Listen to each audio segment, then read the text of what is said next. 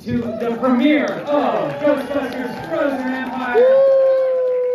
My name is Jason Reitman, and I'm here uh, on behalf of the Reitman family, and we are so thrilled that you are here tonight. We are so proud of this film. You know, about five years ago, my father handed me the proton pack, and I officially became a Ghostbuster, and it was one of the great moments of my life. And uh, two years ago, it was my honor to hand that proton pack to my best friend, my co-writer, and the director of the movie you were about to see, Gil Kenan.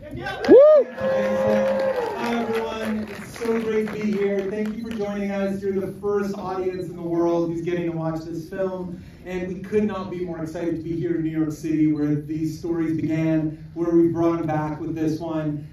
Ghostbusters for us has always been a labor of love. I, I had the greatest honor of my life uh, after writing Ghostbusters Afterlife with Jason, touring the world with him and with Ivan, seeing how much these characters, how much these stories mean to all of you. And it's that that keeps us going. It's that that inspired us to make this movie bigger and wilder uh, and uh, Scarier. and scarier. uh, and uh, and tonight is an absolute honor. Uh, I, I just want you guys to know that Ghostbusters has always been about a group of outsiders who come together to face up against the impossible.